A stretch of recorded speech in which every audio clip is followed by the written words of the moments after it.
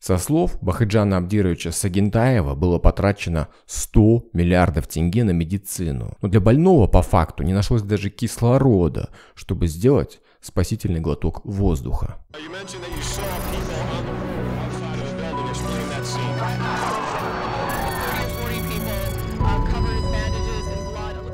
Представьте себе, вы попадаете в больницу, и врачи начинают делать все, чтобы не вылечить вас, а отправить в морг. Это современная реальность седьмой городской клинической больницы.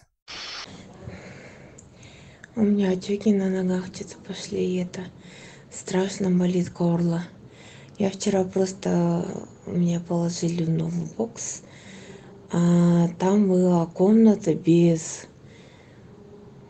батареи. Я не знаю, как у нас в Казахстане додумываются делать комнату без батареи. И вот я там лежала весь день, потом к вечеру просто тупо собрала вещи и сказала, я отсюда ухожу. Либо переводите в теплую палату, либо переводите в обычное отделение, либо я домой пойду. Знакомьтесь, это Зайтуна Хусаинова, которая заболеванием системной красной волчанки попала в седьмую больницу. Что это за болезнь? Проще показать на фотографиях. Симптомы, как видите, не очень приятные.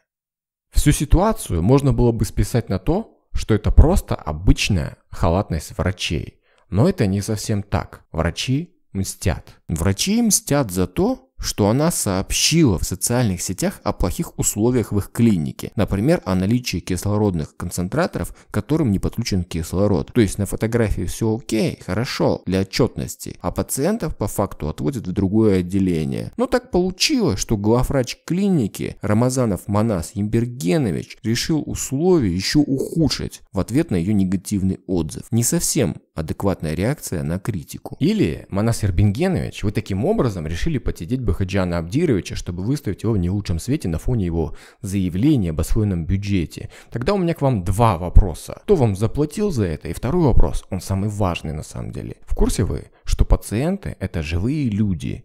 Или вы их за людей не считаете? И скорее всего не считают там никого за людей, потому что врачи делали многое, чтобы ее положение ухудшилось. То есть действия их не были похожи на халатность, а скорее несли системный характер. Пришлось посторонним людям ей привести кислород из другой ранее уже известной вам клиники. Также у нее аллергия на определенные продукты, и ей в больнице дают продукты как раз с этим аллергеном. Элементарно не могли сварить ей гречку, чтобы бедный ребенок покушал и от аллергии не распух еще больше.